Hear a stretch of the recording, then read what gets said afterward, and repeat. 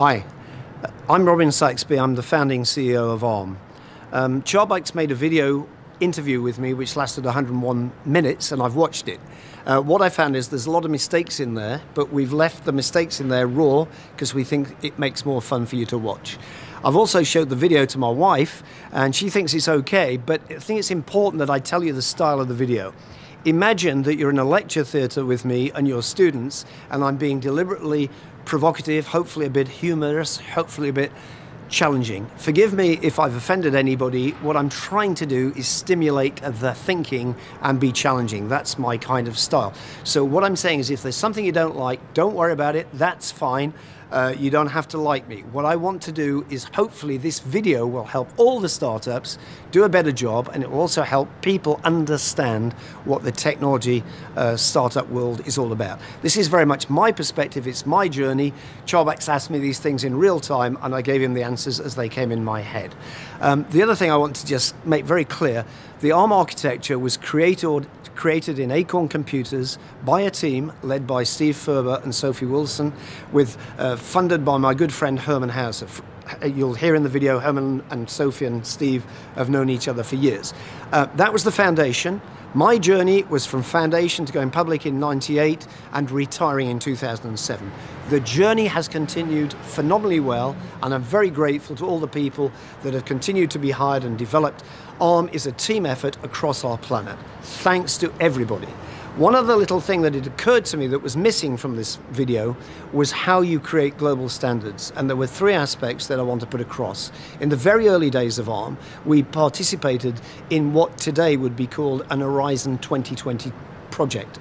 I worked with people in Brussels, in particular George Metakides, who was head of DG13, Rosalie Zobel, who had the project. In that project, we had my friend Steve from Manchester, we had Plessey, we had Hagenuk, we had a, uh, Siemens, Philips. In the early days, creating those standards locally uh, was a great thing to do, and also it provided a bit of funding.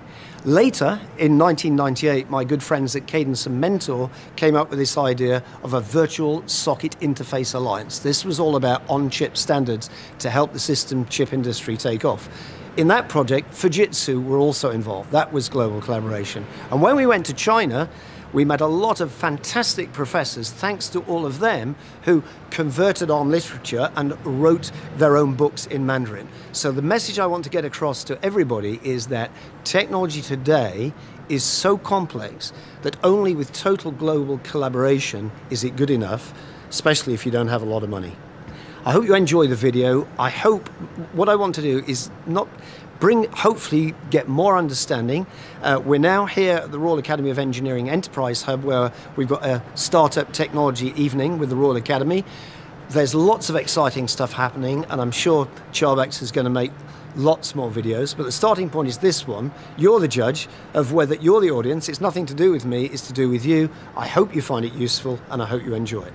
And today is a 26th Oh, yes, anniversary yes, of ARM. yes. So is it going to be a big- party? So I'm not in ARM anymore, so I have no idea. So, but the legal creation of ARM was exactly 26 years ago today.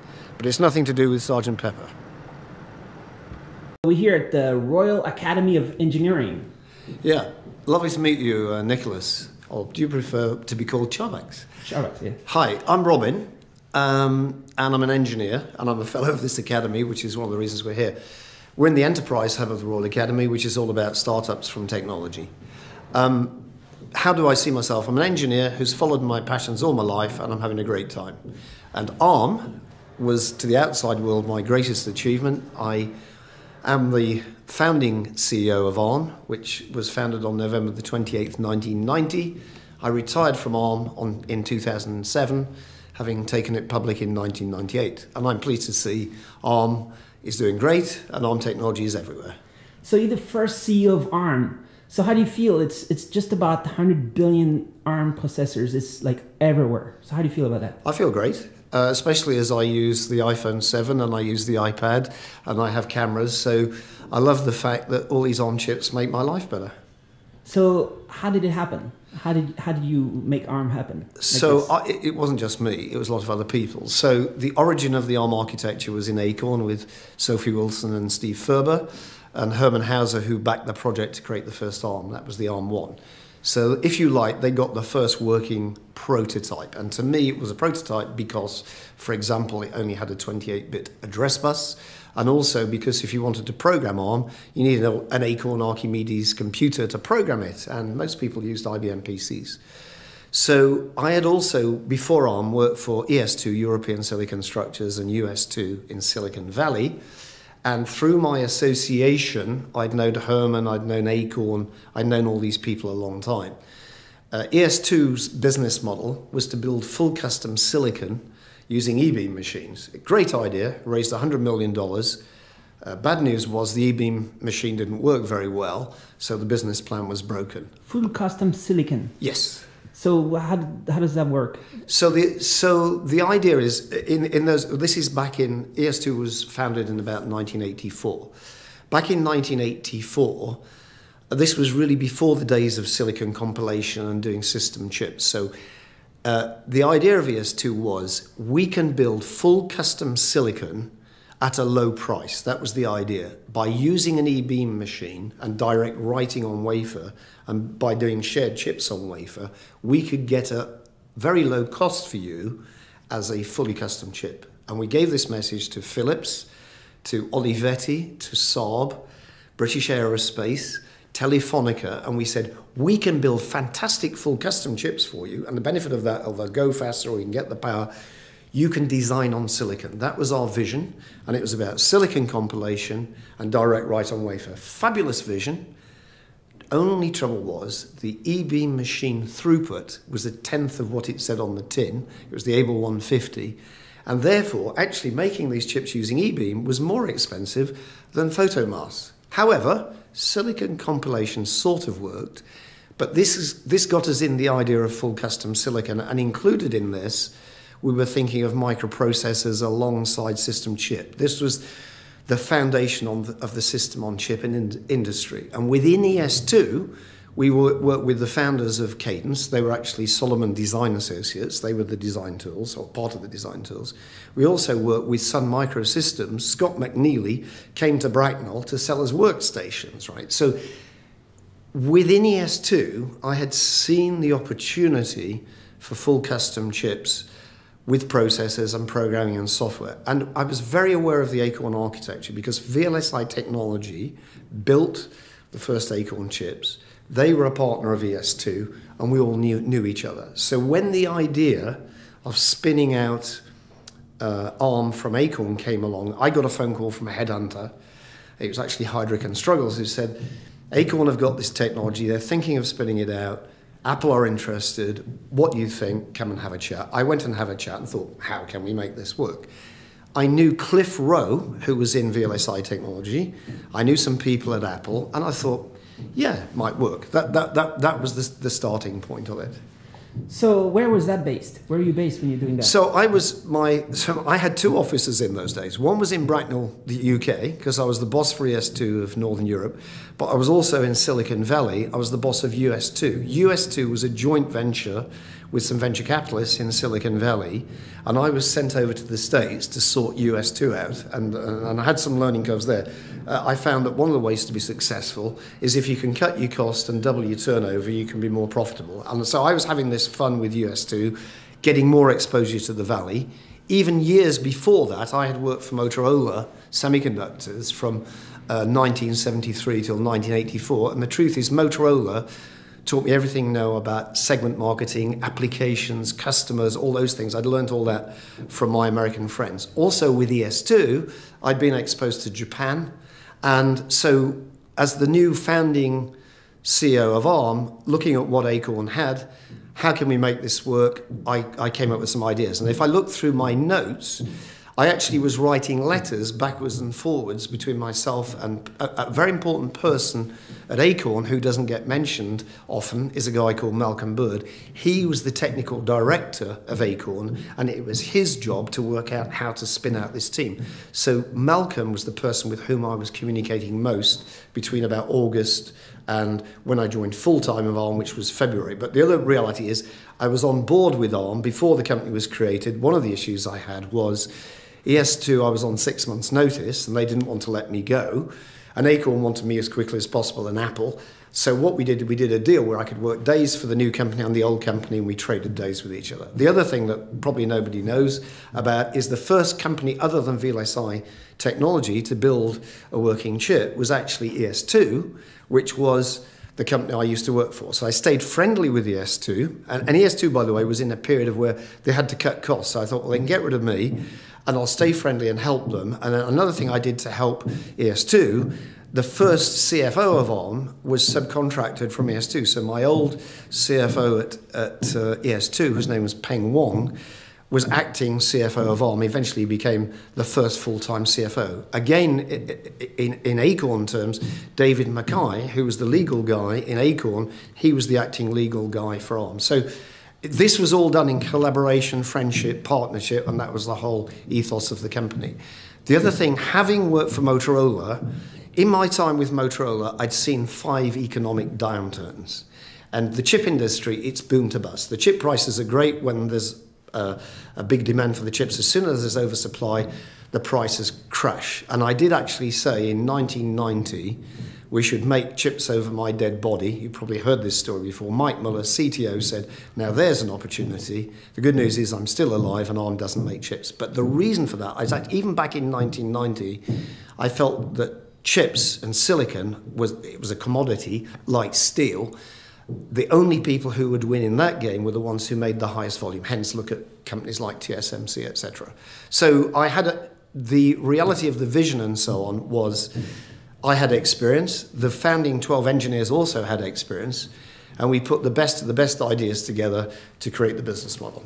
And what were you doing? What was your role at Motorola? And uh, you had relation and connection with with the ARM, with Acorn already back then, right? Yes, yes. So my role at Motorola. The, the truth is, I was in my youth. I was a research and development engineer, and I was married, and I was very poor. And how Motorola got me. This is another interesting story. They said, "What color do you want for your new Cortina 2000 GXL?" and I said white with black upholstery. So the joke is Motorola hired me on a higher salary and I had a car. And my first job with Motorola was a, as a sales engineer. So I was selling to people like myself who'd been design engineers, and a sales engineer's job is to get the chips designed in. So you're actually doing engineering work, helping your customers use your products. I would put my lab coat on as a Motorola salesman with my decoder engineers in my customers, Thorn Consumer Electronics and the like, showing them how to design with our circuits. And what happened to me in Motorola there was a big recession in 1994. This was a big financial crisis across Europe, and everybody else's business was falling apart, and mine more than doubled because I got my new chips designed into new applications, so they promoted me. My first promotion, I had the computer department, which is focusing on ICL and computers and microprocessors. So I, my learning curve with Motorola was about sales, marketing, and also about market segments. So uh, my segment background was really consumer electronics, but I learned about computers and other things. So my journey with Motorola, my final job with Motorola, I was called System Strategy Manager Europe, which was about VME boards, uh, you know, uh, microprocessor 68,000 base boards and software and tools, as well as the 68,000 chip. And the other bit of hit with, with Acorn is I knew Hermann, his first company was um, Cambridge Processor Unit, where he was de- doing designs for fruit machines, you know, gambling machines, and we were selling him Motorola parts. So, like the graphics controller for those fruit machines and some of the processors. And I had meetings with, by the way, Motorola was making these chips in East Kilbride, Scotland. And I remember a trip I had with Chris Curry and Hermann to Scotland to talk about production demand and so on. So I knew Hermann before he'd created Acorn, and we were friends. And one of the one of the funny stories is Hermann, being Austrian, he's a very good skier. And Motorola had the headquarters for the, the microsystems was in Munich. So I said, Hermann, why don't we go to Munich, have a meeting, and then we can go skiing? And I, I was served a cup of tea in a beautiful china cup by Hermann's mum with a nice jammy cake. Okay, so Hermann and I go back that long. And even this was about, I'm guessing, 19, late 70s or early 80s. I'm skiing with Hermann and Pamela, who is now his wife, and we had a great time. And Hermann, being a fantastic skier, said, Right, Robin, uh, I'll leave you with Pamela. I'll go up the mountain because Hermann was a fantastic skier. He was Austrian. Pamela, you know, was from, uh, she was a Kiwi, and I was English, so she, he left the less good skiers on their own.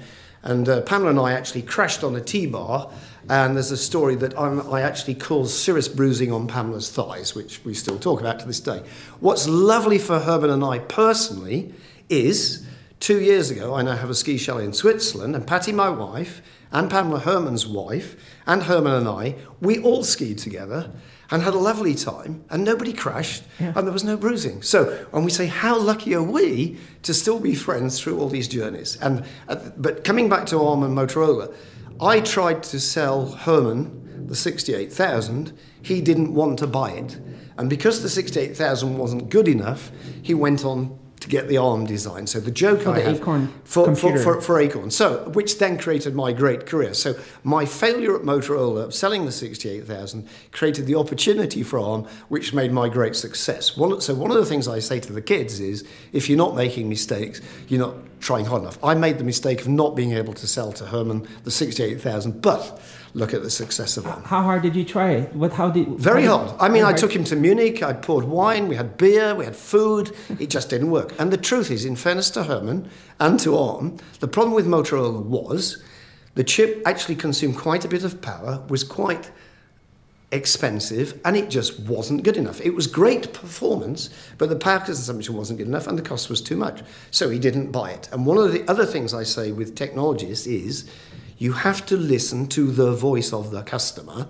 And if you do that, you might get a good result. And one of the things I say to all the startups I'm involved in is customer pull is a thousand times more important than technology push.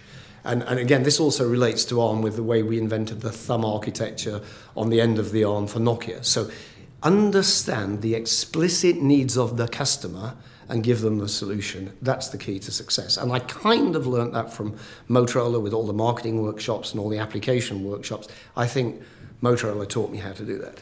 So, uh, so they were shopping. They were looking for a processor. They were looking with Motorola. They were also looking with Intel, right? And there was nothing they could. So they. they so they invented their own. So they made yeah. ARM. Yeah. And that was uh, that. This is awesome technology. But the, the huge success is not just the technology, right? It's no. also the so, business but model. the other thing is, I say, if all we had done was sell what Acorn had invented, the company would have got absolutely nowhere because the problem was so. What they had designed was fantastic for Acorn, but actually useless for the rest of the world because to program the ARM, you need an Acorn computer. Not so. When we looked at the start of ARM, I got the team, and I can show you that in a minute. I got the team to do a SWOT analysis.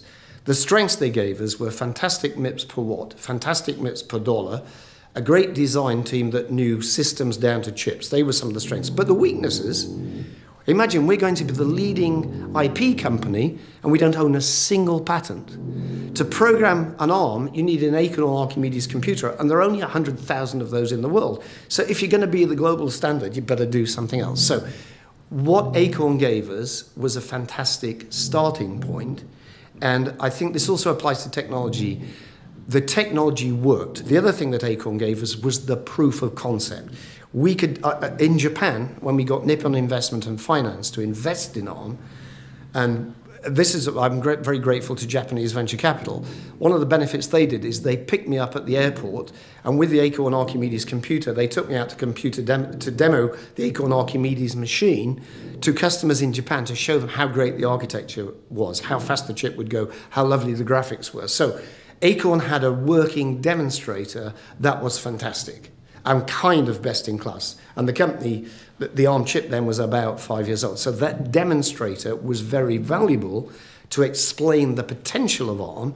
But for ARM's success, it was all the things that came after ARM that made the thing successful. And there are many people, the other thing is it's about individuals. So the thumb architecture, which was driven by the needs of Nokia, people like Dave Jagger, who's another Kiwi, he is the half inventor of the, of the thumb architecture, as is Simon Segars, the current CEO. So the other thing I want to say that I think is very important, all the business books talk about the great leaders, but actually the great leaders just happen to be there and they make a contribution. But the great engineers who think about this thumb idea or this patent idea or this, they're equally important. I think what I'd like this this video to get across is teams are a thousand times more powerful than individuals.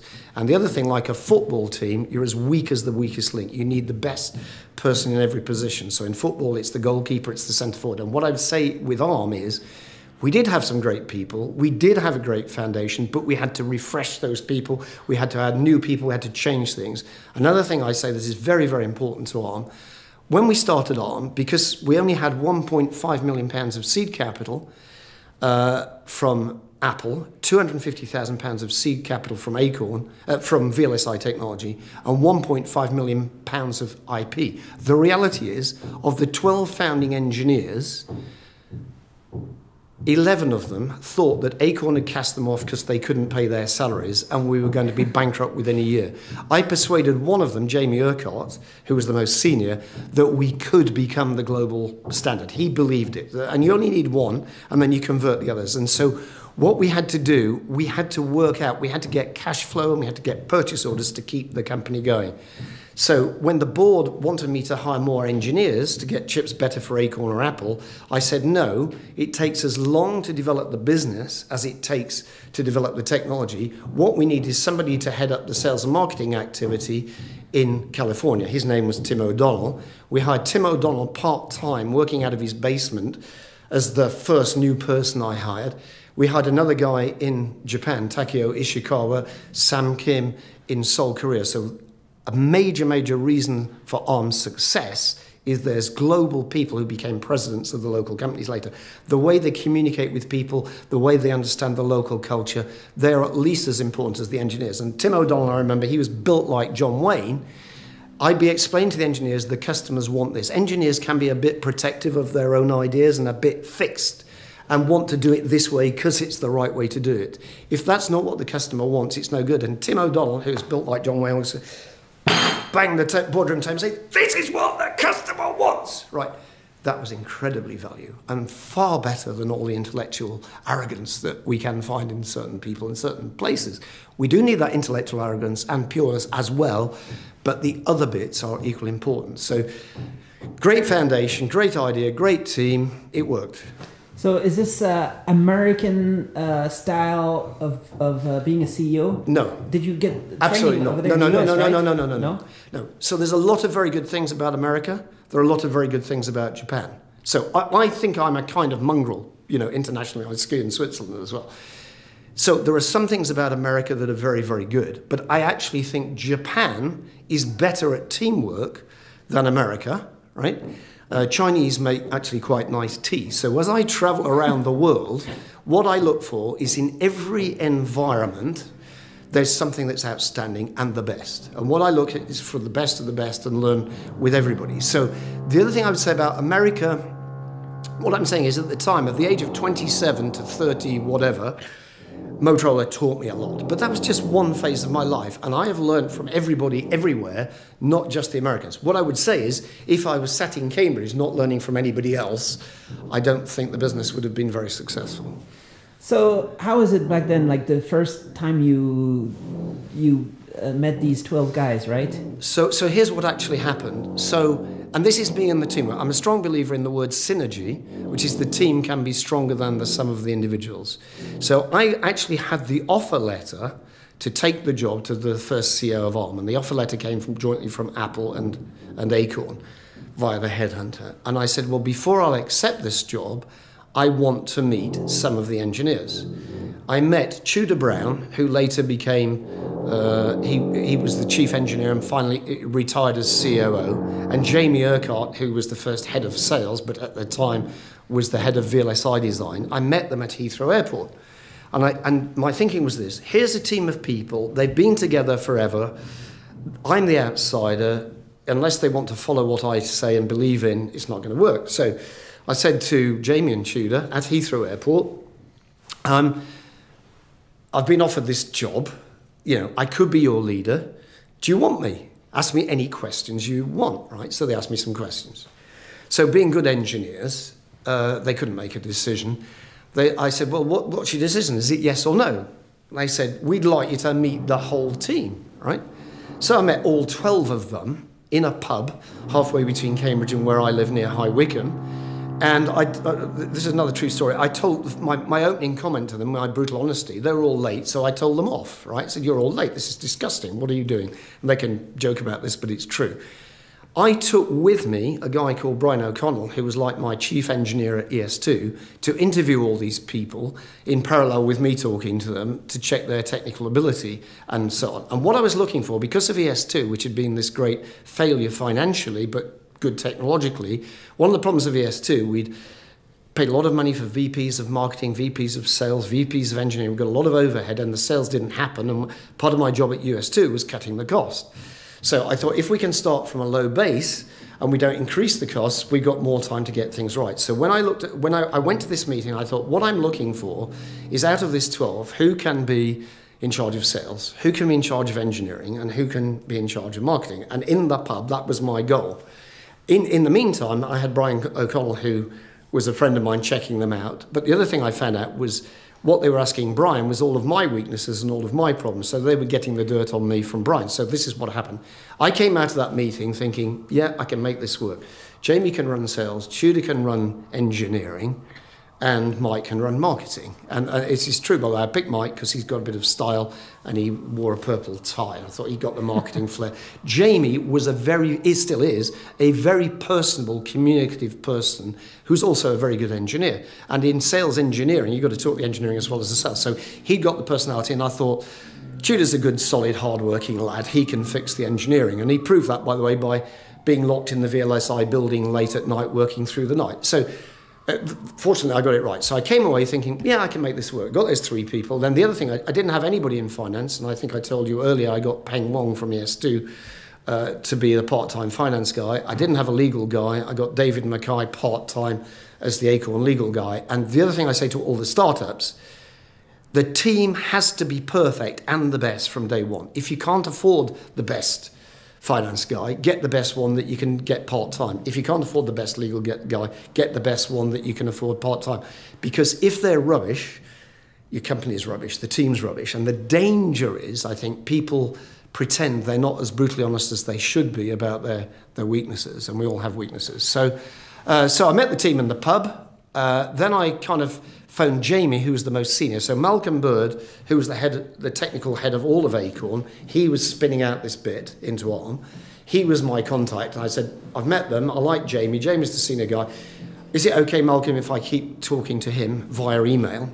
Um, and we did, and and and he was my contact. So I said, Jamie, um, I like the team. I think you can run sales. I think Tudor can run engineering and I think Mike can run marketing, and that's what we should do. And, we, and I've got a lot of dialogue. This is before the company was created of all these ideas. And then the other thing that happened, as I said, I explained to Jamie what a SWOT analysis is: strengths, weaknesses, opportunities, and threats. And, and this, this is the original one. On this computer, Jamie actually sent this to me via email. Uh, it's 18th of December 1990, and from that SWOT analysis, all I did is I told them what SWOT analysis is, told them the methodology, and all 12 engineers contributed to that SWOT analysis. And from that, we built the business plan and the ideas and the first brochure. And this is, this is, this is where it comes about the, the, power, the power of teamwork. And we said we've got the best MIPS per watt, the best MIPS per dollar. We're going to be the global standard. These are the applications, system on chip, and all these things. That was the first ARM3, by the way. It's the first Acorn chip. We didn't have any ARM chips in those days. This is cache. So this is a CPU, really. Um, and um, what's really interesting... Oh, this is 1990. This is about May 1990. Oh, the other reason I, I chose the colour yellow, because I thought yellow was the sun and would bring us some luck and hope. That's, and there's me, by the way, back in 1990. 1991. This was be about May 1991. And it says, here's the vision, here's what we're going to do here's why we, and by the way, we were talking MIPS per watt and MIPS per dollar. Everybody else is saying, what are you talking about? RISC microprocessors are only for workstations. No, this is all rubbish. Mobile phones will never need this stuff. Fortunately, they were wrong and we were right. Um, and then the other thing we had to do, because nobody knew where ARM was, we're in a barn round the corner from Cambridge, and that's the original ARM barn. You also need a bit of luck in business, and the farmer who started that said that every sick animal he put in that barn recovered. So he knew when we started in that barn it was going to go well. So, how was the atmosphere in that barn? How, how did it go? It was great. It, it was a lot of hard work. I mean, it was a lot of hard work and a lot of fun. So, another true story one of the history things. We had very little money, um, and so we had to spend the money wisely. So one of the things I bought was a Mercury voice answering system. I mean, back in those days, voice answering couldn't happen, and the reason why I bought that was. We're going to be a global standard. We've got to be able to answer the phone 24 hours a day. We spent a fortune on, on the telephone answering machine, if you like, the, vo- the voice system from Mercury. We also wanted desks for every engineers. It was open plan, and because the barn was so beautiful and had beams, I said to the furniture company, "Why don't you give me the most beautiful desks and chairs because it'll look nice in the barn along the the beams for your for your uh, for your brochures?" And I negotiated higher quality furniture at a a better pro- at a better price to go with the barn. And then the other thing, that he was a nice guy uh, I needed a boardroom table, but I couldn't afford one, and I won the boardroom table uh, with a toss of a coin. So I got the boardroom table thrown in. The only trouble is I'd run out of money, and there was no money uh, for bookshelves. They had to put their books on the floor. So it was an open culture. Uh, another funny story I remember from the early days: a guy who'd worked with me, I stayed friendly with with ES2. So the guy who took over from me at ES2 was a guy called Hans Brouwer, who's a Dutchman, and we did some early collaboration between ARM and ES2. ES2 was the first company to make uh, ARM chips, other than VLSI technology, to prove they worked. And uh, one of the funny stories about Hans Brouwer, he got locked in the toilet for a long time and there was a lot of banging and nobody noticed he was there. So it was a great environment. The other thing is, my family never wanted to move to Cambridge. I've never lived in Cambridge. Had a wife who was a teacher, had kids at grammar school. They didn't want to move to Cambridge. So I was literally working through to the night. And the farmer says he noticed the light in my office was on till gone midnight most nights because I got nothing better to do than work. So, um, so there was um, uh, ARM was designed originally. They were thinking MIPS for the masses, but MIPS per watt and MIPS per dollar, really. So they were and system chip. So, so, so the detail is.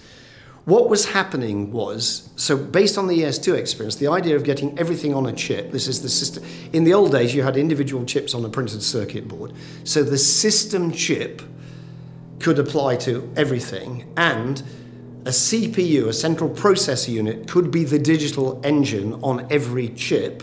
And with software, you can personalize the chip. So the system on chip starting trend was happening, and we had the best processor to integrate on a piece of silicon and the design tools, and we understood software, and we understood hardware and the architecture. So we had a different vision about how the industry was going to change. And we thought that what the, the basics of what we had from Acorn would, could get us into the right space ahead of everybody else. So it was great technology, but at which point did you think, okay, let's do uh, this standard for the whole world? Uh, before I joined the company. Before already? Yeah, because the only way we could win was to be the standard. Because you had Intel, you had Motorola. I remember, so another true story. When I was, ARM was about 20 people, I was giving a speech in Tokyo.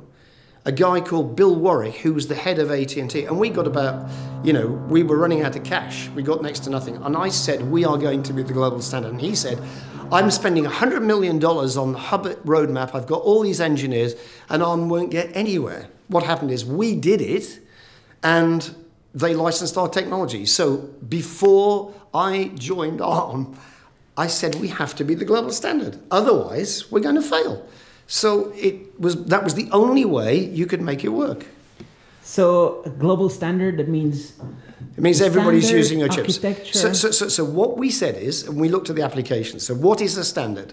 We said embedded control, every device, printer, whatever, automotive electronics, every car in those days we said mobile. We, digital mobile phone hadn't really happened, but we got the idea of the the Apple Newton and so on. So we said mobile applications. So and it's all defined. The one thing I did say is we will not go into the PC space.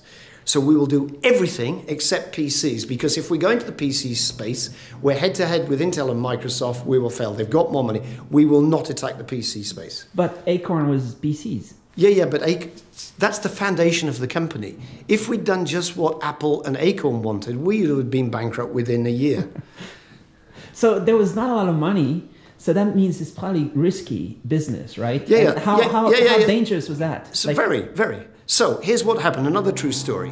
What I say to, about job security to kids is job security is how easily can you get another job for the same salary, right? If you don't take a risk, you never take any game. So I said to my wife and kids, this is very risky. It'll probably all go wrong, but I've tried the Risca ES2. The e-beam machine didn't work. I'm having a lot of fun. I've learned a lot. I can always get another job. I'm thinking of taking this job. And I said to Katie, my daughter, who was about 11 at the time, Katie, I've got this opportunity. What do you think, darling? And she said, Dad, I've got a six here. Throw it. Sorry, I've got a dice here. Throw it. And if it's a six, you'll be a millionaire. I threw the dice. It was a six.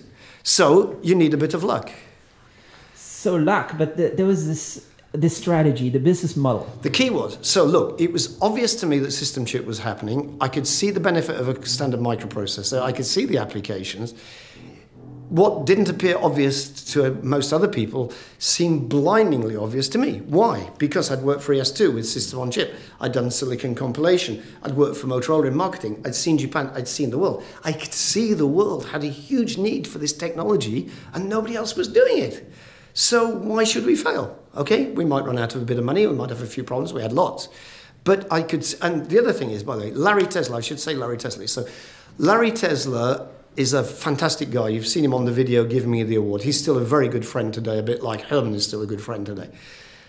Larry, as the seat, uh, you know, the, the, technical visionary of Apple, really got my vision. So, so what I'm saying, he of all the people, I could talk to Larry about this problem, that problem, and we could talk honestly to each other. And I would say he was my biggest inspiration. And there were lots of things went wrong, like joint ventures never work, for example. We had fights among the joint venture partners. It's all hopeless. But you just need a shrink to go and talk to. And in my case, it was Larry, you know, my friend. And we get the roadmap out. And we, I remember being in Larry's office saying, could this, could this company ever get to a 10 million pounds revenue? And we looked at the forecast and we did. And you, the reality is every day, you face a problem. So another true story. So from the early days, one of the first purchase orders for ARM was to develop the ARM 610 chip for Apple. And we had to get a purchase order. Because Larry was my friend, um, he'd given me a verbal order, we'd started the design. Tim O'Donnell, who was heading up the US, went in to get the purchase order from Apple. And Tim rang me and says, Robin, I got a problem. Larry Tesler has just resigned from the board of ARM, and they've left me in this room on my own. And the Apple corporate had told Larry that he'd got a conflict of interest and he couldn't give me an order. That was one example of a problem. Another problem Yamaha, we're doing the deal, right? The Shinkansen never stops running. We spend a whole day in a room in Yamaha and we don't get the purchase order and they're trying to beat the price down. And we leave and it's been the worst day ever and the Shinkansen is broken and we have to stay in a really terrible small little love hotel, you know, because that's the only place we can stay. We get back to Tokyo and we get the purchase order the next day. So at every stage of every day, there's a crisis like you can't believe. That is real life. It isn't, you know, oh, I look like this great, glorious success story and all this stuff happens. It's all really, really hard work and it's all really, really tough. But when you're down, you pick yourself up and you have another go. And the guys with tenacity and hard work usually win. So, so when did when did you get the idea of doing the licensing model, the, the this business before, model? Before we started ARM. So, uh, in fairness, to, so the other thing is Malcolm Bird deserves the most credit for thinking of some of these ideas. So, Malcolm is the head of Acorn's. Uh, he's the CTO of Acorn, and he's got to spin this out. What might the business models like? So he had the licensing idea. He thought maybe he could do this, but in his original plan, it was maybe we can do licensing, maybe we can do uh, make chips, maybe. And he had a, a, big spreadsheet of all the things that you could do. And what I said from my experience was, and this is my interview, practically you can do this, you can't do that, and we kind of evolved it. But he, in the same way that uh, Sophie and um, uh, Steve, Steve, Steve are the origin of the ARM architecture. Malcolm is the origin of the ARM business idea. He also had help. So Advent International were involved uh, helping uh, Apple in this. So there were people in the early days with ideas while the joint, they all put in bits of the ingredients. I didn't just invent this all on my own. I evolved it, okay? The one thing I would say as I was very passionate that we wouldn't make chips. But did you did you uh, emphasize the the importance of demanding a big fee first yes. and then later yes, small yes. royalty? Well, it's right? very simple. I just said that's the price, mate. I, I, mean, one of the things that really helped us. So Samsung. So there's a guy called Hyung Lee Roh, Dr. Hyung Lee Roh, who really believed in the ARM architecture. This was about, I'm thinking 1993. Um, Samsung in those days hardly knew what a microprocessor was, you know? And if you look at where Samsung is today, but Hai-Long another great guy. And I said, with this architecture, you could, all these products you're making for Samsung, you could use a standard microprocessor, you could use software, you could do all this, you could reduce costs. And he got the vision and the idea. He believed it. And then he had to convince Sam, Sam, uh, Samsung purchasing to, uh, to, to cough up the money. And what I actually said was, so by this time, I think we got TI as a licensee already, we got VLSI, we got Plessey, we got Sharp. We were very short of engineers. And what I actually said to Samsung, I said, I'm very, very sorry. We'd love to work with you, but um, we're just too busy and we need more engineers to help you. You are going to have to give me not just a purchase order, but you know you're going to have to give me $3 million of cash wired to me before we start work for you so I can hire the engineers you need. And we got the $3 million. And, and Samsung, I remember this very well, at that point is when we doubled the size of the company from 30 to 60 people on the back of the Samsung order. And that nearly killed us. I tell you why. Because all the 30 engineers who are doing all the work have to train all the new 30 engineers to do more work, and the company becomes less efficient for a while. And that, that to me, was one of the most stressful periods, that growth phase of going from 30 to 60 engineers. What year was that? Around? I'm guessing about 1993, 4. Not either 2, 3 or 4, I can't remember exactly, but in that period. So as a CEO, uh, one of your main jobs is to hire people and fire people, right? But especially yeah, yeah, yeah, hire, hire. Yeah, yeah, yeah, So how do you do that? So, uh, I mean, I'll tell you another true story, uh, which is quite funny when we were starting this company, so it, my first office was inside the Acorn building, right? So I arrived to my new office in Acorn to be told, uh, you've got to get out. You've got two weeks, we need this room. So, and they found me this beautiful concrete monstrosity of a building that I'm about to move into. I said, I'm sorry, that is not the right building. The overhead is too much. It's terrible. I don't accept it. We've got to find some better. I'd speak to Malcolm Bird, who gets somebody called David, I think, to go and find me something better, and he finds the arm barn. The advantage of the arm barn, it's got more character, it's cheaper, it's better, it works. So that, that, that was decision one. Later, by the way, when we're doubling, doubling the size of the company, we're actually moving back into the Acorn building because they're not doing so well and they've left some space. So we've gone back to the old Acorn building, the Waterworks building, next to the current Arm main headquarters. So, but as a CEO, basically the CEO has got to do everything, whatever it is, that nobody else can do. So I'm doing the marketing, I'm doing the selling, because I've got all the engineers are doing engineering, and I'm hiring people, and the particular occasion, so we've got to go to this new building, right? We're going to need somebody who can answer the telephone, somebody who can be my PA, somebody who can do stuff, the admin side. So I am interviewing PAs who are going to do everything. They're really serious hard workers, members of the team. This lady's called Glyn Leonard, by the way. I'm hiring her in parallel we're choosing office furniture and fax machines. So I'm going from one meeting with secretaries to fax machines and all the rest of it. And the good news is we got the voice answering system, the furniture, and Glyn Leonard on the same day. Another funny story about the history of ARM, coming back to the luck bit. Uh, my birthday is the 4th of February. Glyn, Glyn Leonard's birthday is the 4th of February. And Dave Jaggar, who is the inventor of the thermometer. So we had three 4th of February birthdays in a team of only 16 people. Now, statistically, that's impossible, by the way, but that, that's the truth. By the way, and I met the head of enterprise at Liverpool University that I met the other day. I think he's a really good guy because his birthday is the 4th of February as well.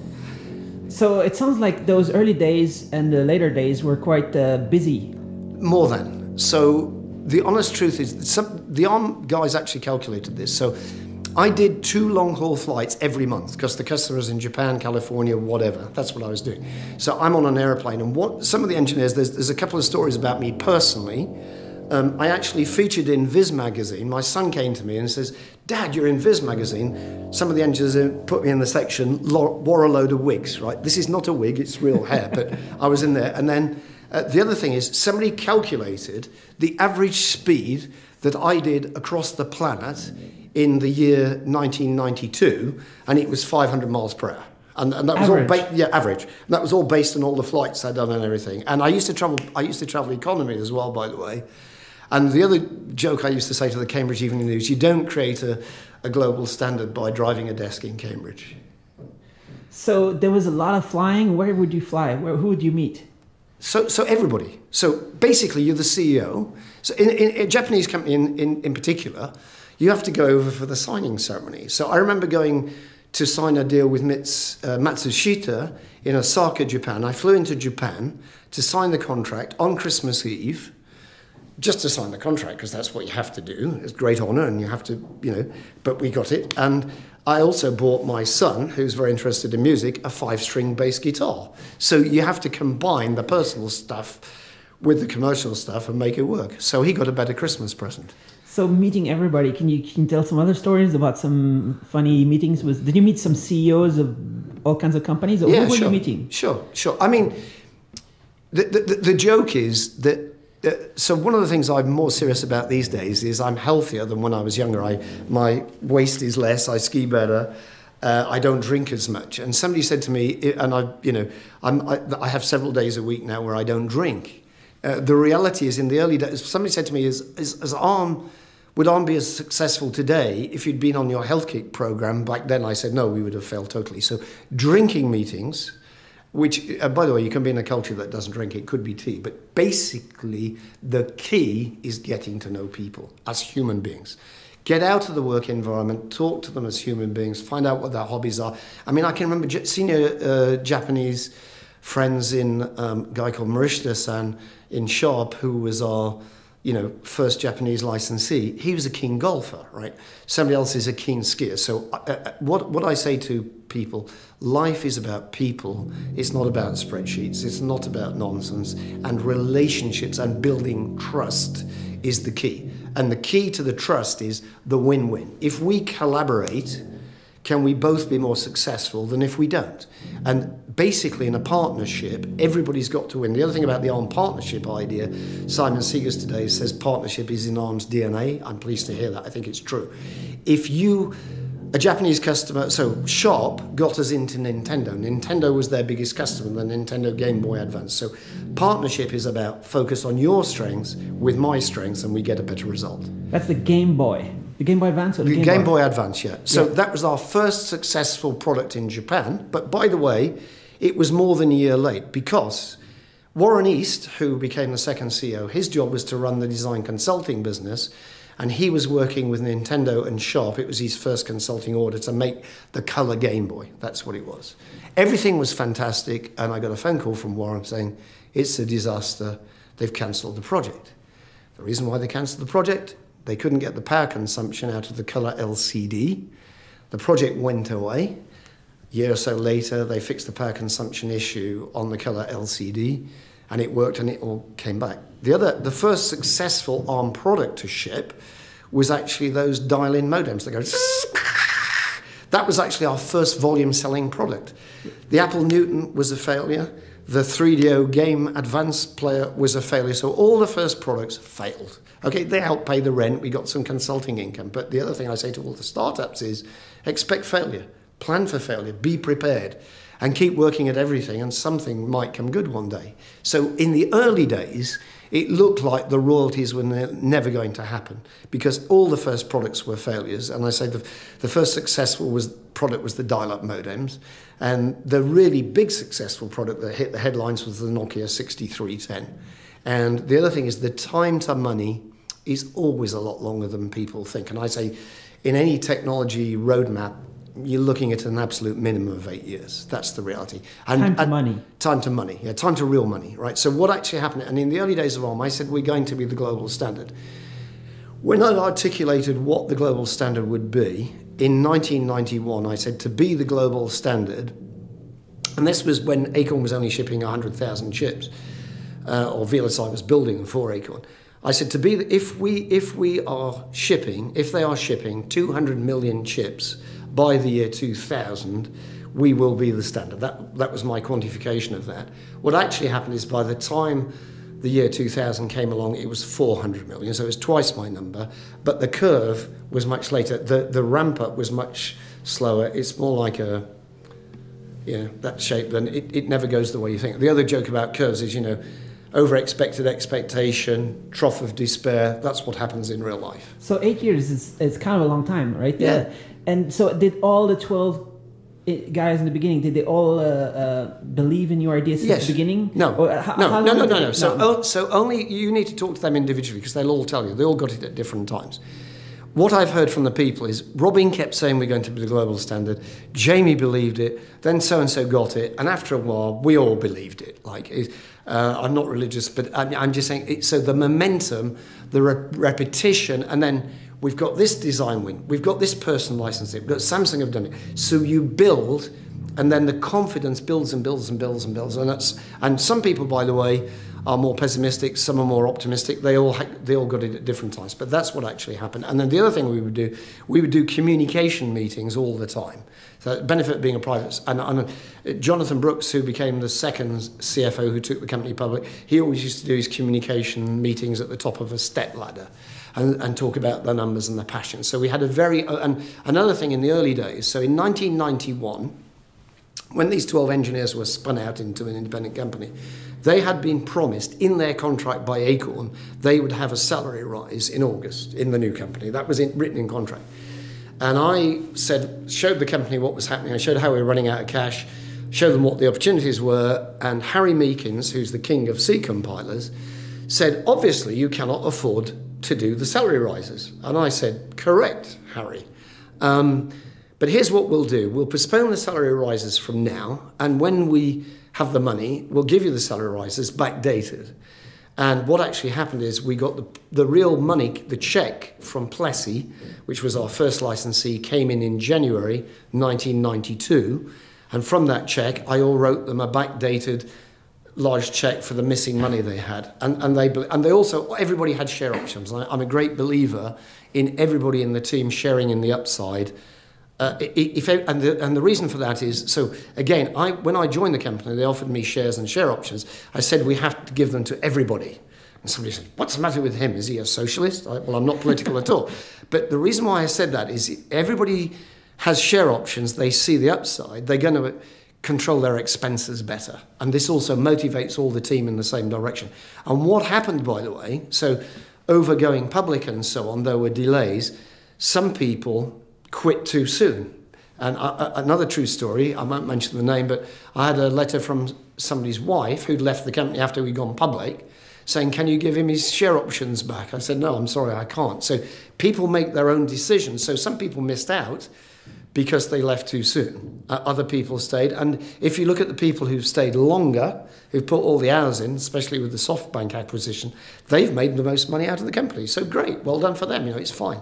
So we all make our own choices and what we want to do with our lives. So people were patient with uh, with with uh, following your vision, right? So I think it's more than that. I think it's not so much that they were patient in following my vision they were more passionate about what they were doing. So if I I'm designing this, so one of the early chips was called Louis, which stood for life, the universe, and everything, and that was integrating four individual chips on a single chip for Acorn. So it was the video controller, the memory controller, the I/O, and the CPU and the memory, all on a single chip. So that's a really exciting project. And if you're a VLSI designer doing that, it's lovely. If you're trying to improve this C compiler throughput or whatever, it's lovely. If you're trying to get the code density right through the thumb architecture, it's lovely. So to be honest, if you are doing the most exciting stuff on the planet, you don't really care about my vision. It's irrelevant, you know. But that's the kind that's the kind of upside from, from, from the vision. There might be some good news after, but most people, including myself, we're less mo- motivated by money than the motivation of ARM was with the global standard, we can change the, the planet. We can make more efficient processors. So, one of the things that pleases me personally, poor people in deprived parts of the world using ARM powered mobile devices to communicate with the world to improve de- devices and livelihoods and so on. That's the exciting bit. The money is just, to be honest, money is overrated, right? Money, money doesn't buy you love, as they say. It helps a bit sometimes, but, and I, I think, I think we can get, if you haven't got money, money looks to be very important. If you've got enough money, it looks less. And we're all motivated by different things. Some people want to make a lot of money. Um, some people want to have enough money. And, and, you know, personally, I'd rather have enough money and freedom than too much money and no freedom. There's another joke, by the way. I, I shared a house in Cambridge with Dave Jaggar and Paul Egan, and we used to talk about the thumb architecture around the kitchen table. Dave, Dave says it was designed in the kitchen of our little house. I don't know if that's true, but because I was the CEO, he could come up with some ideas and we could talk about it. So, and again, in engineering pe- terms, people talk about skunk works. And so things kind of happen orthogonally and in an informal way. Same with skiing. You ski better the more relaxed you are. So I, I, think, I think there's a lot of nonsense. I mean, a friend of mine is Clayton Christensen, who's a professor at Harvard Business School, who wrote The Innovator's Dilemma. And he says, why do all these companies, when they're 100 years old, go bankrupt? And he says, because of all the rubbish we teach at Harvard Business School. so that's kind of how I look at things. So uh, there's there's uh, Nokia coming, and so how do you, how was those uh, travel those trips? Did you go so, to so, TI so, and so, convince so, them? So the reality is this. So I I helped convince TI, but but it's a team. So what what we're doing is we've got we're dealing with Nokia, we're dealing with TI, we're dealing with Sharp. What actually happens in practice? You have a senior person who has the responsibility of a particular relationship. So the reality is, the Nokia design win was more at a senior level was more to do with Mike Muller and Pete McGowan and Dave Jaggar, and very little to do with me. Although I had a few meetings with TI. The meeting I had with TI was discussing what were the applications within TI that were relevant for the ARM architecture. And I had more discussion with the automotive side of TI, a guy called Greg Lowe, I think his name was, than I did with the guys on Nokia. I had more to do uh, with Sharp. Warren had more to do with Nintendo. So what's actually happening in practice is you've got all these customers, you've got teams working things, and I my bit would be signing the contract or coming at the right time to do your bit. So the whole uh, uh the other thing is with Sharp, and this is another true story. Uh, Mike Muller and I to close the Sharp deal. I went to Japan 10 months out of 12 to get that deal done. And I remember being with Mike Muller, because Sharp's got lots of engineers and it's a consensus culture, everybody has to believe it. And I remember coming out of a meeting in Nara after a Sharp meeting with Mike Muller, and Mike Muller says it's hopeless. They've got so many engineers, we'll never get the deal. And I said to Mike, there was a Sharp sign in, in kanji outside a shop. I said, Mike, take a photo of me with that sign and maybe it'll bring us luck. And we got the deal. The other thing that happens in these deals is Sharp America were very keen to work with us. So more than just Sharp Japan, the people who uh, were in the northwest of America were very keen to get on. So I personally had meetings in Las Vegas to get the Sharp deal with the Americans and the Japanese. So these things are happening in real time across the planet. Large corporations make team decisions with lots of input from all over the place. So, uh, did you speak any Japanese, or do you have so translator? So, futatsu kudasai. So, a little bit. You that means two beers, please. And yes, so, uh, saksumi desu. Uh, hajime mashite. Dozo yoroshiku. So, I, I can, uh, and the joke with my kids is, my kids would know the nationality of the person I'm speaking to because I'd be speaking to them at home every night or somewhere, and my kids could would, would play this game on what nationality is dad speaking to, and they could guess from my mannerisms and my behaviors. Also, je parle un petit peu français. So, but all you need to know is hello, goodbye, two beers, please, you know, and smile and things like that. So when Nokia deal happened and the phones were coming out of the factory and it was working, it was stable and everything, things got pretty crazy. Well, no, no, not crazy. So what happened is that was the time. The, the real benefit of Nokia to us from a business point of view. So the day we went public in 1998, and Nokia uh, had done some road, road tours in America before us. So the good news about Nokia is when we did the IPO, because we duly listed on both Nasdaq and London uh, everybody knew who Nokia was, and we explained the technology behind it. So the biggest benefit of Nokia was actually in market positioning and understanding ARM. So, but but I mean, there was volume, right? It, yeah, yeah, yeah. But, but, but, but, but, there was lots of other volume. I mean, so if we actually look at the detail, there was this fax modem, there was this embedded controller, there, there was this printer, there was this, this Nokia. What I'm saying to you is, Nokia gets the headlines but actually, the numbers are built up of lots and lots. And the other thing about ARM is, I think even today, I don't think any one customer is more than 10% of revenue. So the success of ARM is the penetration globally and the application range globally. And yeah, Nokia is a nice story, but it's just one of many. So uh, you're talking about those modems and, and fax printer or something like that. Who who, who are they? Those companies? I can't. I can't even remember. I mean, the other thing is, do you remember the Diamond Rio before the Apple iPhone? So, so what I'm saying is, what pays the rent and what gets the headline are quite different, actually. And so Not the, always the most noise is the greatest success. I mean, another story, just again to remind you of this. So, my biggest partner, Apple, um, I thought they were really, really behind the ARM architecture, and everything's great. And I got my friend Larry Tesler, and Apple uh, uh, amount this, uh, announced this amazing collaboration with IBM and Motorola to create the Power PC to put me out of business. You know, that's real life. Why would they there do that? Why wouldn't they use the ARM and the? Because it's a big the- company, and a big company has lots of difference of opinions, and they don't always agree. And so the people on the desktop wanted to use the Power PC. And in large corporations, it isn't like a religion. We all believe this. They all have different ideas. They all try different things. And the suppliers who work the best and do the best job win. Were you trying to convince them to use ARM for I tried to convince them. So my the company I used to work for, Motorola, right? I thought these would be the easiest people to convince. They're my friends, but they didn't want to. They didn't want the ARM architecture. They had their own. They were too proud.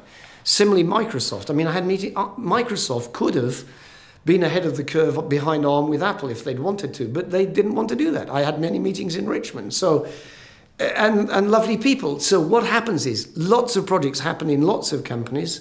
Some get supported, some get killed. That's what happens. And as the supplier, you have to work with everybody and everything, and some work. Did you meet And with Bill Gates? I didn't actually meet Bill. No. No. But so you were meeting with Microsoft people and you're trying to convince them to do no, I'm what? not trying to convince them. Th- th- This is, this is again, it doesn't work like that. The marketing nonsense says that story. It's rubbish. What you do, you don't try and convince them. You listen to what they want and you give them the solution. And they then get the belief and they then convince their bosses. That's how it actually works. So you go and say, "What do you want?" That's the meeting. So you, you talk to the engineer. So here's what you do. So, right, I'll give you an analogy. Right. So if I tried to sell you a parachute right now, Charbax, would you like to buy a parachute from me? Parachute. Yes. Uh, maybe. No, maybe not. No, no, I don't think you want a parachute. No. But imagine you're coming out of an aeroplane and you're about to die, and I'm flying past with a parachute and I can attach it to your back. How much will you pay me for that parachute? Uh, everything I have. Yeah, exactly. So the key to selling and marketing is actually understanding the explicit need of the customer and giving them a solution. And you have to have the the people who kind of want the parachute, the people who want to push the power consumption curve. So it's about working with people to give them a better solution. And what and if you can adapt your technology to create a better solution than everybody else's technology, you will ultimately win.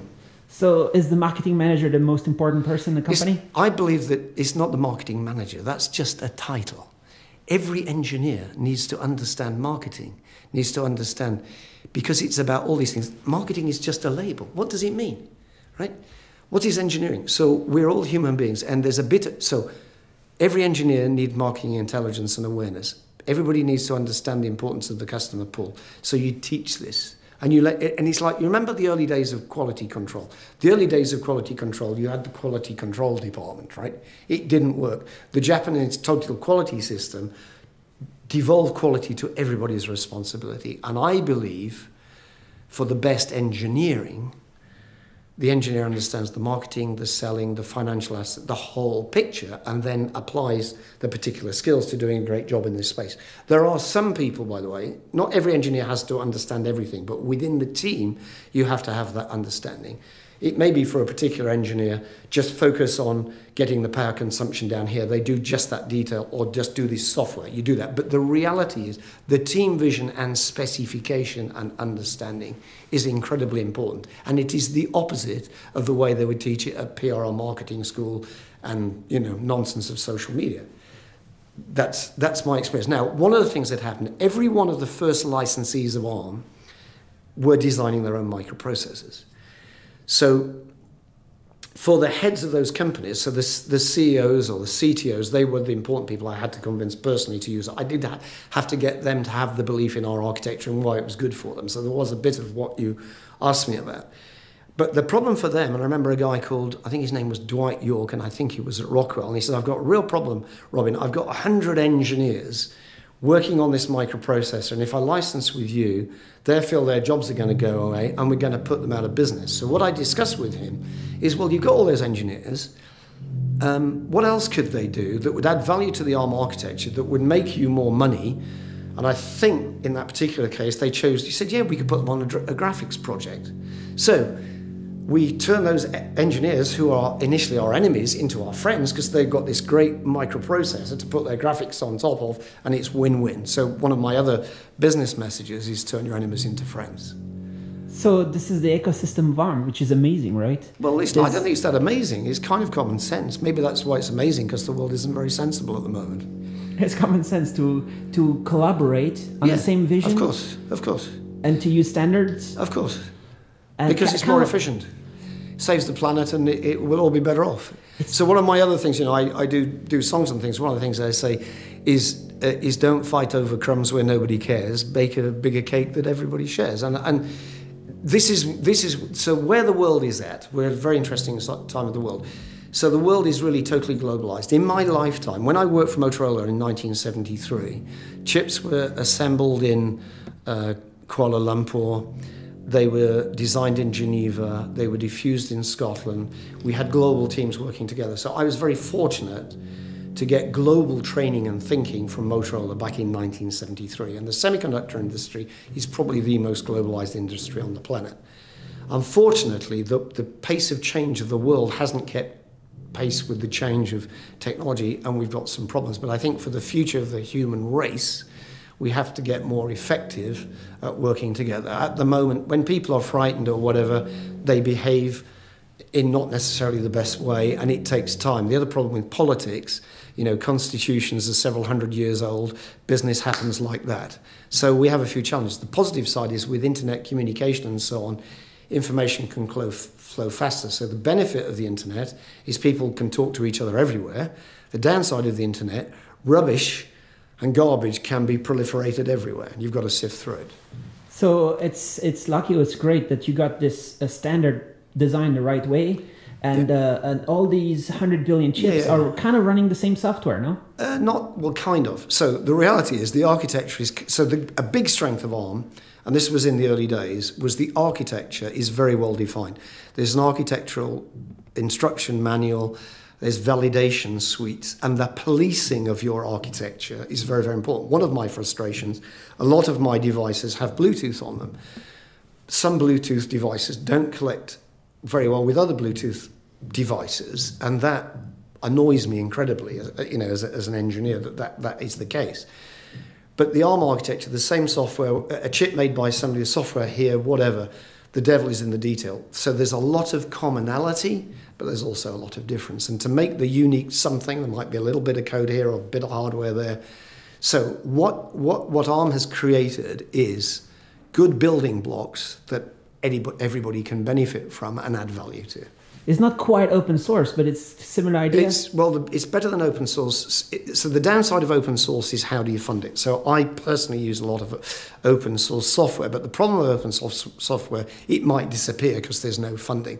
So it is a shared standard which is controlled by ARM, and you have to pay some money for it, right? And the good news is you don't have to pay too much money for it. So the so the ARM royalties are so low that it's not worth trying to cheat and beat on because it costs you more to cheat than to pay the royalties. So, so it's a good, it's a good ecosystem model.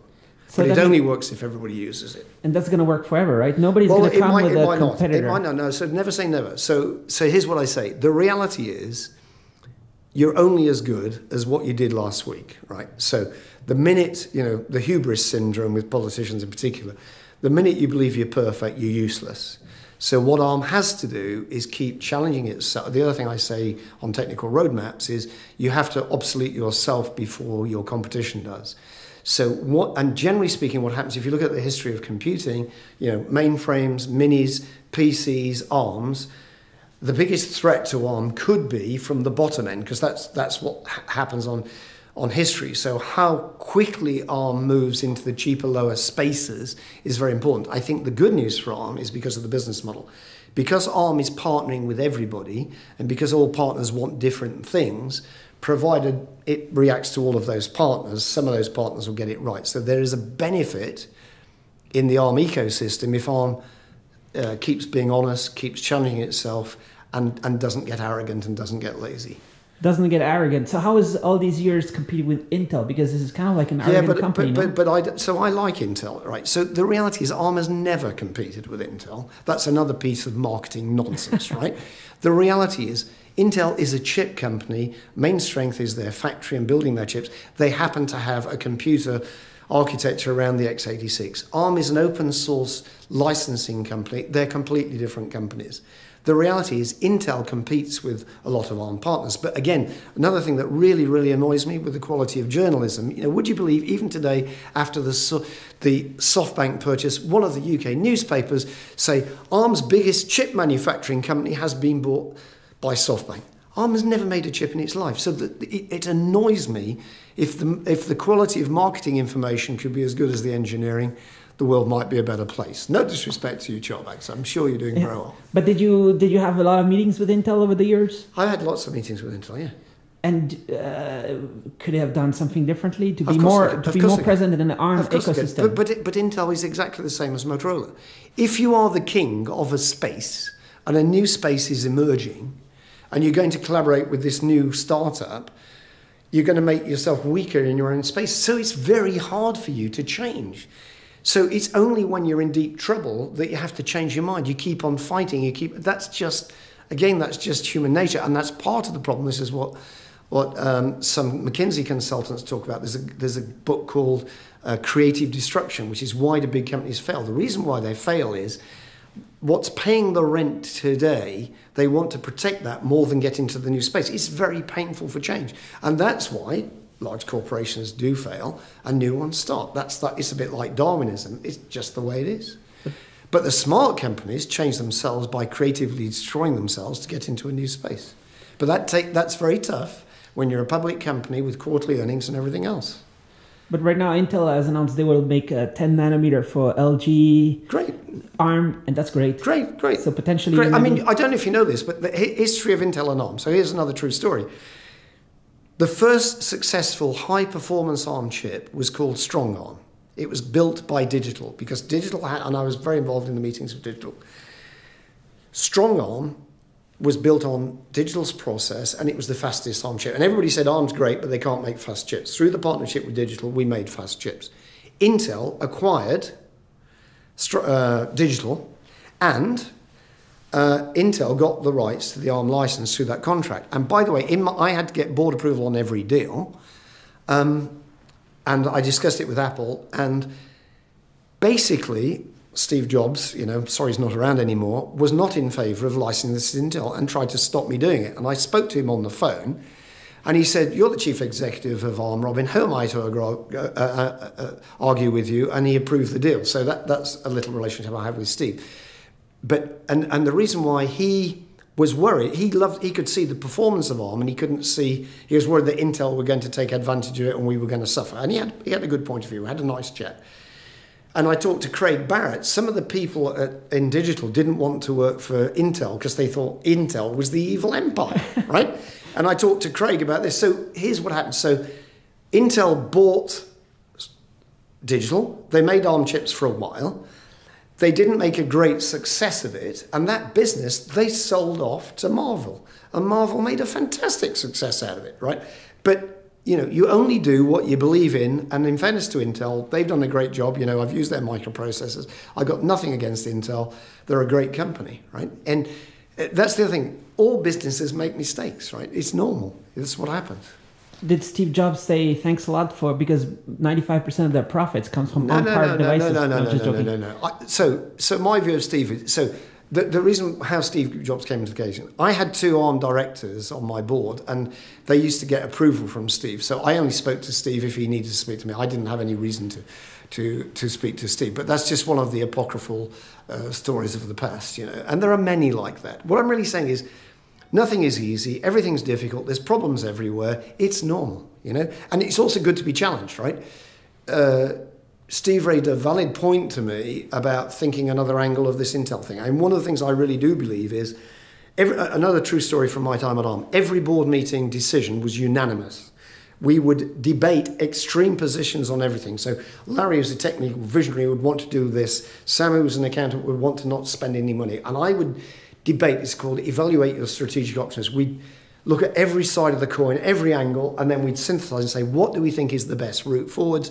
Then through the team process, we'd say yes. And I'd say, does everybody agree? And if somebody still doesn't agree, we'd say, why don't you agree? Talk it, you've got a chance. And we change the view because the reason for that is in a team, if you're all signed up to it, it's going to happen. If there's somebody, if you have a vote and there's somebody who's against it, it's like the bad apple in the barrel, it's going to come back and get you later. So I'm a great believer in teamwork and team decision making. Shall we sit down just for a second? Uh, so, uh, right here. So, uh, there's were there times where uh, when when ARM was just about to fail? Um, oh, how many times? Once. Just once. 1991. So the reality is we could have gone bankrupt in 1991. And after that, we got into positive cash flow in year two. All right. So uh, that's great. So. Uh, but that's because I wouldn't spend any money. So basically, you know, ARM was ARM in year three was only about 24 people, and I wouldn't hire. I, I wouldn't hire unless you know you needed 200% of a person. And how were the years? Uh, uh, uh, at what, what at which point Warren East took over CEO? That was. So I think he took over in about 2001. I'm guessing, but but but but basically the, the, one of the benefits I had, so when ARM was starting to be successful, one of the problems I had is where am I going to get good people from? And Texas Instruments had a big operation in Bedford, and they chose to move that down to Nice. And I got Warren, who didn't want to go to Nice from TI. got, we got several key players from TI at that time. We hired Warren to develop the consulting business because in the early days of ARM was getting the applications to work was a real challenge. So the more consulting we could do, the more we could help them with the design, the better chance they had of getting their designs to work. And also we could get income for that. So Warren was hired to look at the ARM business and to create a consulting business to, that would be profitable and, and revenue generating, but also help uh, create ARM design wins. That was his first job. And then the other thing that we always did in ARM, this again is one of my beliefs, I believe very much, I got this from Motorola, I believe very much in succession planning. So I believe every employee should say, if you get run over by a bus, who's your first choice to replace you? And who's your second choice to replace you? And always have those names in the box and always discuss them and always review it. So it, it so happened, I won't tell you who the first name was, but when this process started, uh, Warren was the second name in the boss in the box. But by the time it actually came to the appointment, he'd become the number one, and he became CEO. So 2001 to 2007, you were. I was chairman. So so the other the other reality is, I was chairman, CEO, president, and everything forever. I just didn't use all the titles, right? Because it didn't seem necessary. Um, and what happened is I stopped being CEO in 2001 or whatever it was, I can't remember the year.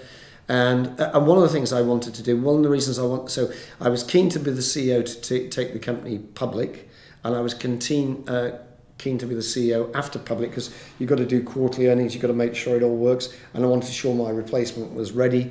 So I backed off when Warren was ready to drop into my shoes. And I'm a traveled no problem through the the, the crash. Arm, of, uh... Arm's had lots of problems. So so the, so here's here's what the problem. The problem is and this is the public company bit. Being a public company, you're very much uh, measured on quarterly earnings. And the problem is, a deal might happen in the month of March, in which case you've hit your quarter, or it might happen in April, in which case you've missed your quarter. So I could say through every quarter, you've always got a challenge. You know, usually you've got a, the joke is I think all corporations they they make their numbers in the last few weeks of the quarter. So the pressure of being a public corporation creates pressure all the time. And you've done this deal, what's the next one? So there's there's problems every day.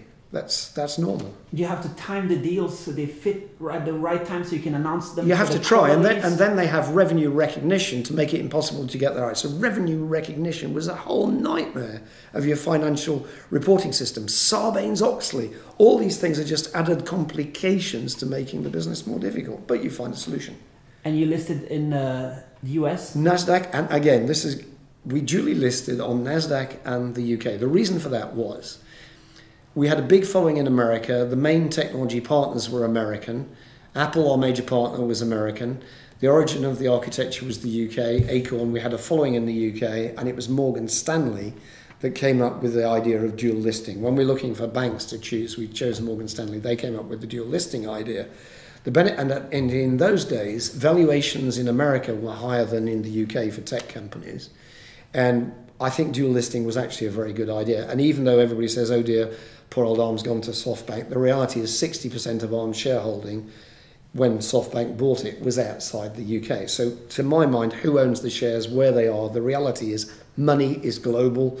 Everybody owns everything everywhere. I mean, again, I'm a private shareholder in lots of companies. So, money travels around the planet and it's everywhere and it's every it, money doesn't care what nationality you are okay stock exchanges do because they get commission so listing gave arm big opportunities what what the, the the listing what i think is it gives you credibility if if you have not if you're not listed you're less well noticed the other the other reality is i've mentioned this to you before so arm was a joint venture and when we started arm one of my friends um, whose name is uh, Peter Smitham, I had a meeting with him, and he was the boss of uh, um, Schroder Ventures, and I thought he knows more about companies. And I said, Peter, I've got this job offer to run this joint venture. What would you do? And he says, Don't take it, Robin. Joint ventures never work. I said, Oh dear, Peter, it's too late. I've accepted the job. And what that meant is the problem with the joint venture is so Acorn's interested in its chips for the Acorn Archimedes machine.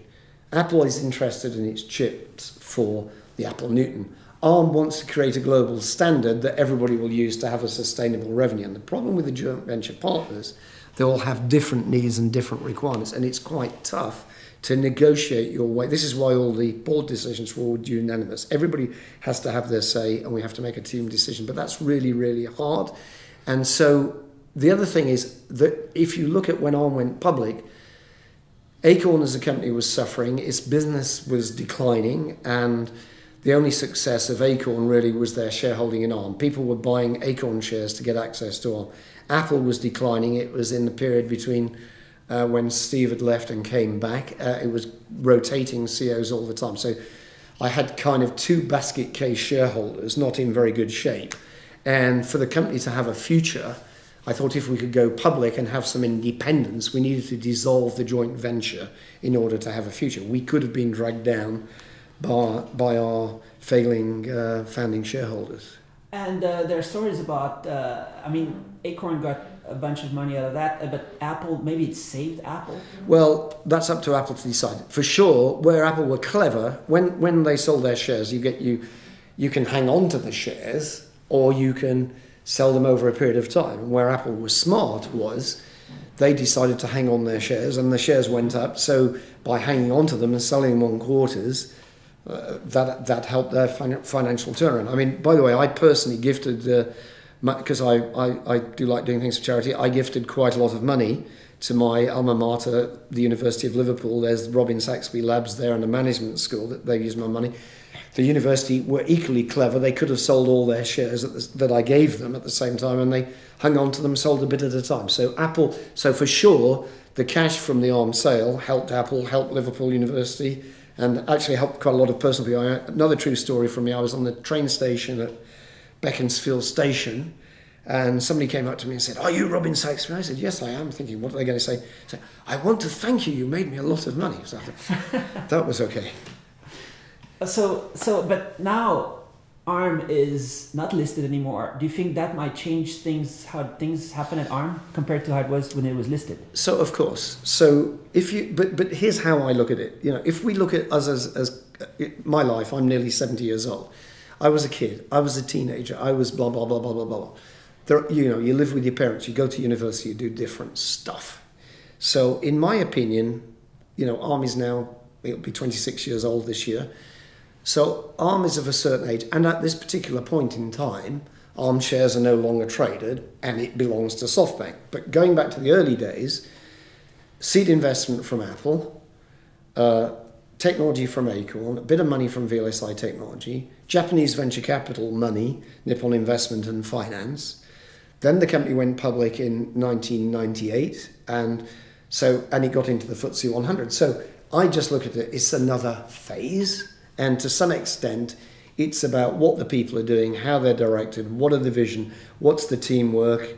That's what counts. Who owns the shares? Or and by the way, hedge funds today. I mean, a majority of shares are owned by hedge funds. They don't. They don't. They just want to make money. So I don't get hung up about about ownership or nationality or whatever. I mean, the other thing that's really interesting about ARM, I personally feel, we, you know, we're all human beings we're different cultures, we're different languages, we're different whatever. But in the world of ARM, when you're working together, I don't think what nationality are you or what's your culture or whatever. Sometimes I have to be a bit careful because if I ask somebody to drink who doesn't uh, like to drink, that's that's that that's rude. So I've got to be aware of people's cultures. I've got to make an effort to do that and to get that right. But we're all products of this planet, and um, you create the right environment, you can do some great stuff.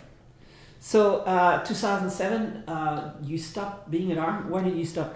So one of the reasons is I do believe that um, we all get past our sell-by date, and I also believe in setting personal goals. So one of the things I learned from Motorola, I owe this to them, we do an annual performance appraisal, and we'd write like mad plans of where do you want to be in 10 or 20 years' time. And I kind of wrote the ARM business plan inside of Motorola, I think, when I was about 32 years old, because I had this idea for Motorola with the microprocessors and creating a standard and doing systems. I actually but Motorola rejected the idea. But I think the origin of the ARM business plan came from my time at Motorola.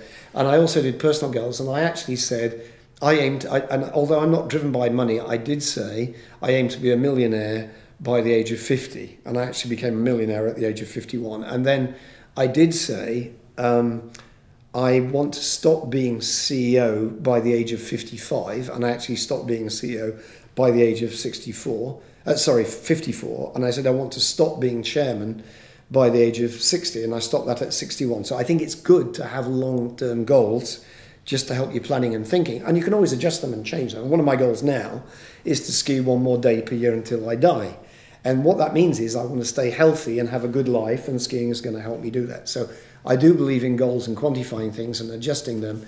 And personally, um, I think I'm more interested in the long term future than I'm in the past and today, right? I, I, that, I tend to think a lot about the future. That's, that's what I enjoy doing. So, uh, can we have such uh, revolutionary business models for future companies? Is that what you're trying to do? Of course, of course, Is that what you've been doing? Also working with yeah, startups, yeah. Right? So, so let's just talk about other revolutionary business models that have come since ARM.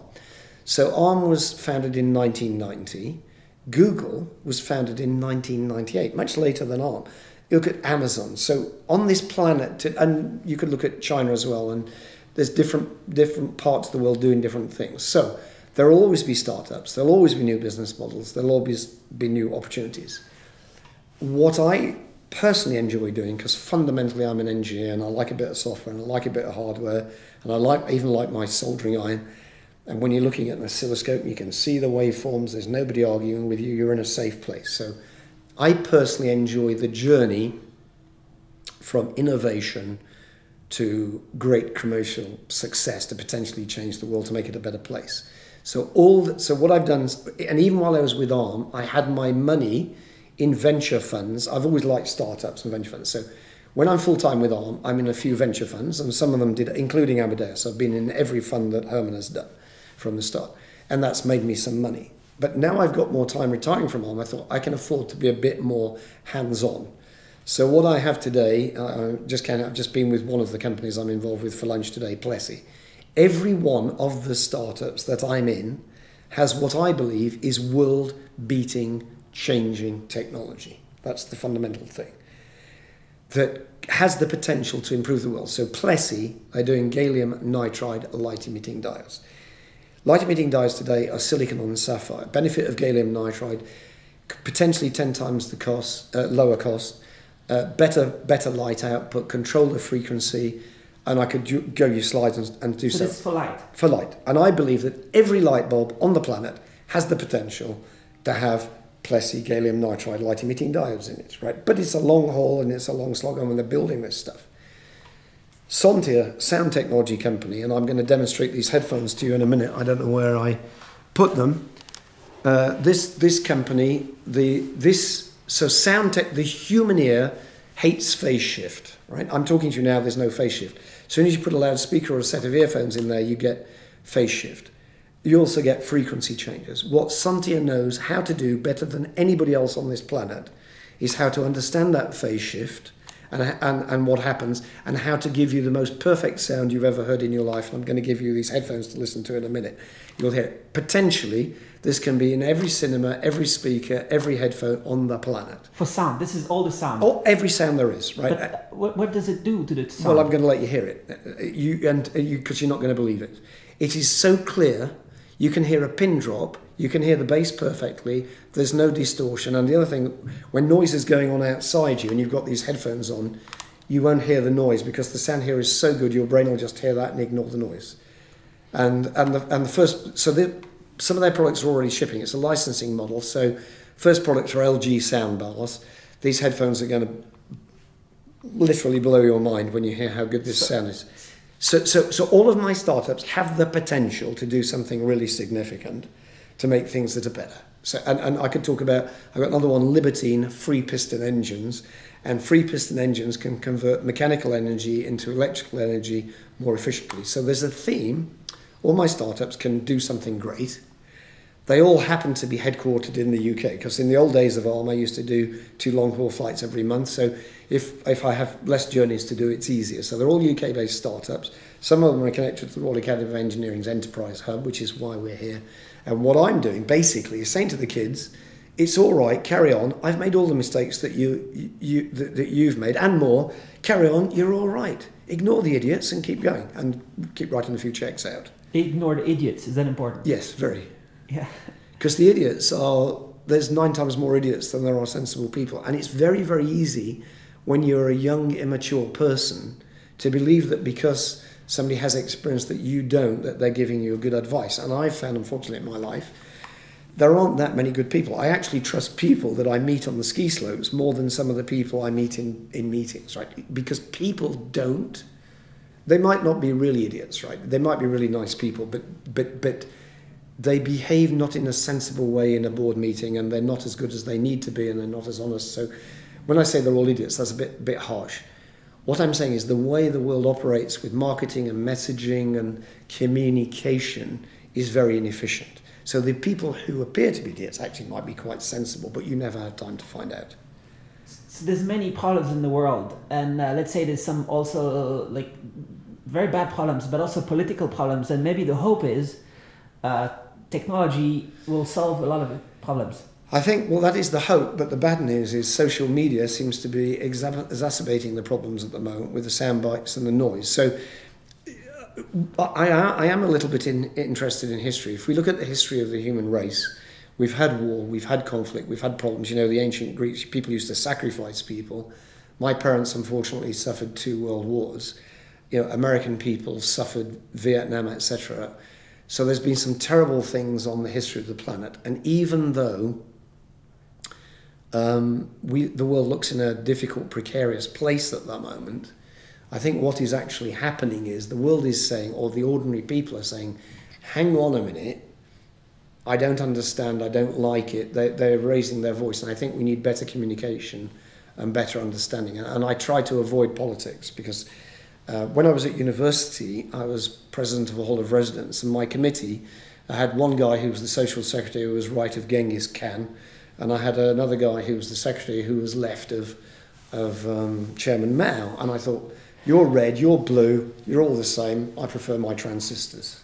Transistors yeah. can save the world, but these politicians are just yeah, talking, yeah, right? Yeah, but imagine this is the, um, this is a bit of a joke, but it's also true. Imagine we had a really so people are worried about artificial intelligence, right? um, we could actually program machines that could make help our politicians make more sensible decisions based on data. So I think the machines can actually help. But I think it's going to take a long time. The history of the human race, you know, look at the age of the planet uh, and, look, and look at the age of the human race. You know, the planet is billions of years old, man is 200,000 years old. We're still very, very young. So I think we have to we have to we have to get smarter. And the other problem is that so when I my first job I worked for Rank Bush Murphy, I designed colour televisions, including chips. We made the chips in Plymouth. We shipped the chips in the UK, it was very local. That's the way the world was. Look at the way chips are made now and globalization. And I, I, there are some problems of globalization global warming, shipping costs. We're not exactly running this planet in the most efficient way.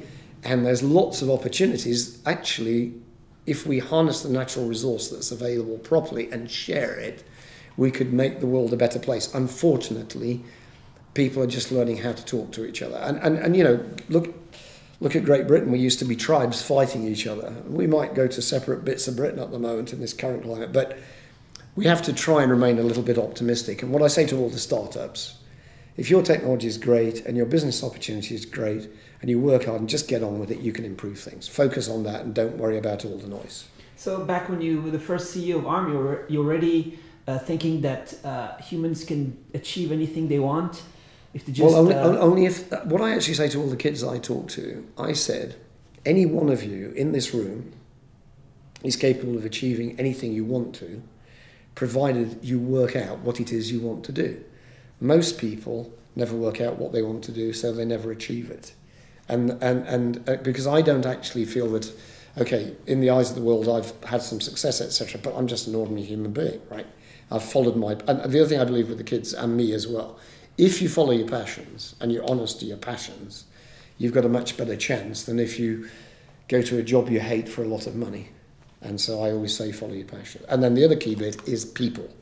So, peop, I think without Larry Tesler on my board, I probably would have failed with, with ARM because I, I could phone up Larry, have an honest chat with him, and he could help me, right? And we all need somebody helping us, right? Whatever that is. And we need, and families and friends really, really help. And they are, you know, the unsung heroes are a thousand times more important than the heroes in the textbooks.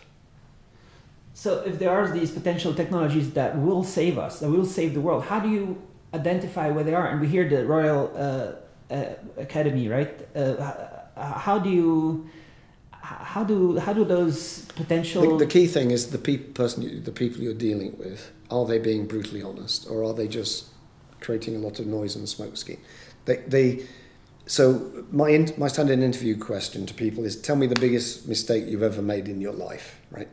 If they can't articulate that, that either means they're lying or or they don't know what they're doing, right? So that's a good one. Then also tell me what's your biggest achievement, and through a very simple process, you can establish who's sound and who's. You can occasionally make a mistake, but there's some, some fairly basic basic things you do. So you're looking at the person, not the you know everybody can have a lovely presentation with lovely graphs but it can be rubbish. Right? So it's about people. That's it. And so with the Royal Academy, so I'm a, a, a fellow here and I'm in a mentorship program. And I said, one of the things I decided I would never get involved in mechanical engineering because I don't understand it. But this guy called Sam, who's the boss of Libertine, who's doing the free piston engines, I'm having all these meetings with him. I think this guy's really good. He's really sound. He's really solid. And I go, Sam, would you like me to give you a check? I said I would never do this but because it's you, I'll give you a check. And he says, Yes, please. So you actually back people. That's what you do. And you can have your views about what you will and won't do, and of course, you always break the rules. All right. Well, we're out of light, so.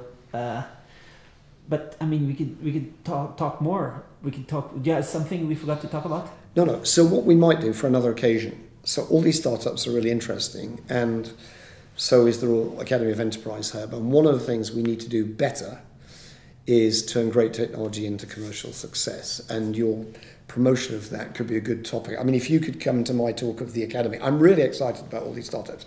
What I'm saying is, so ARM has done this, and we've done it.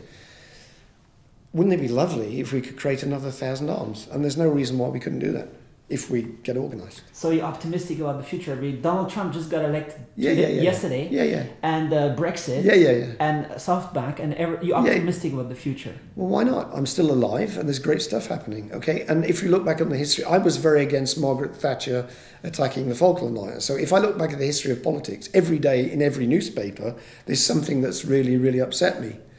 So the idiots will, and, I, I'm sorry to say, the politicians really they are voted locally. They have to get elected, and what's and most of the people who are voting for and the politicians they cannot have a global perspective. So the reality is we live in a totally globalized society completely interdependent on each other. Unfortunately, our politicians are not allowed to live that way because they're voted, voted for lo- uh, locally, so they have a slight challenge. Right? My personal view is that politics and political systems have to go through some serious change. They are not fit for purpose today, and the reason why I'm optimistic, I think this is a route to some serious change. It has to be. And what do, what do politicians do? They waste money, they take us to war, they promise things and never deliver. And um, but when you talk to them one on one, they're not bad people. They mean well. But the political process and system doesn't work for a world that is incredibly interdependent with the internet and everything else. So the pro- and again, I have a friend of mine who's a former American amb- ambassador here, Phil Lader, says one of the problems of America is we live in a 21st century economy, but with an 18th century constitution. So the problem is the political system is out of touch with where we are today. That's the problem. And the reason why I can be optimistic, since these people are not really totally stupid, they just look like it is. To me, with the sound bites on the television, that's I'm very unfair to them by judging them that way. They, we're going through a transitional period, and that's how I can be optimistic. And the optimistic thing is that the people of Middle America and the people of Middle England are equally unhappy, and all of this is about their voices getting heard. So that's a good start.